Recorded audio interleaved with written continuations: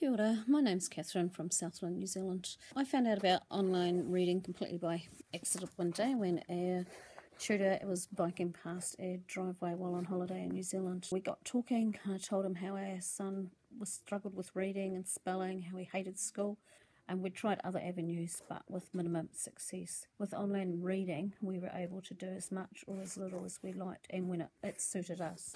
I mean, son was in year six and he really, really was struggling. So I've had three out of my five children doing the lessons.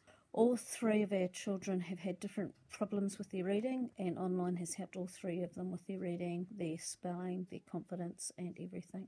I'm so grateful for a chance meeting with our tutor and our conversation, and it has got us to this point. Thank you so much.